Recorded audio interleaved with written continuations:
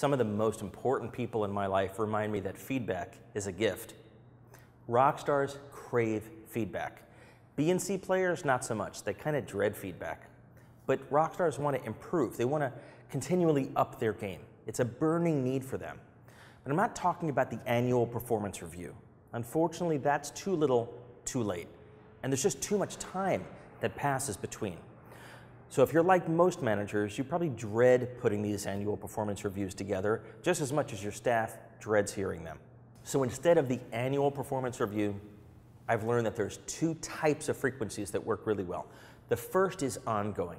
There is just no substitute for prompt feedback, whether it's negative or not so much. But choose your moment. As time passes, your memory fades, and people are more likely to interpret the situation differently. So do it promptly after that learning opportunity. Then there's monthly feedback. And I think what works best is a sit down discussion where you talk about the bigger picture. The way I do it is to make notes in advance. So I actually jot them down in my, in my phone and I think about the two or three key items that tend to come up often. I don't make a laundry list to avoid that temptation. No one can absorb it. But just the two or three key things that are opportunities for improvement. It's actually a lot more pleasurable and satisfying than that horrible annual performance review, and I promise you'll dread it less, they'll dread it less. So, how to do it? Again, plan your messages in advance and pick your moment.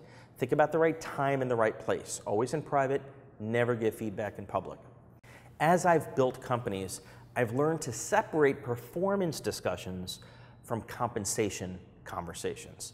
Once they're mixed up together, and I talk about compensation, that's all they hear. They don't hear the feedback, the performance review. So I would encourage you to consider separating these two and do them on staggered timeframes. When it comes to rock stars, I use the Socratic method and I ask, how do you think it went? What do you think went well or not so well?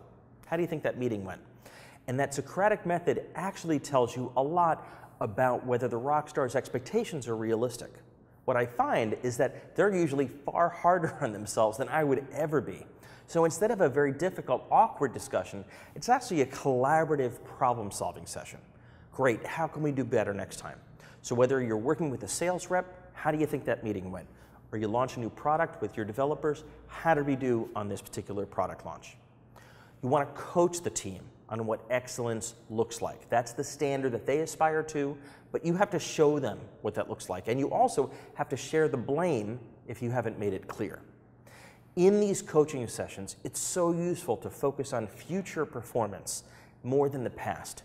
So tie their performance to the skills that are needed in their next career move. And that actually makes them look forward to feedback instead of dreading it. So just to recap, compensation, and this time we talked about candid coaching, but I have one more C for you, and we're going to talk about that in our final lesson.